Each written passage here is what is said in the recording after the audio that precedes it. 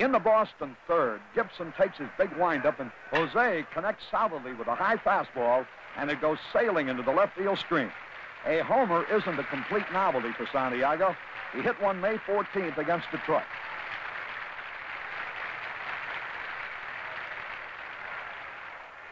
Jose gets a big reception from his mates, with the score now tied.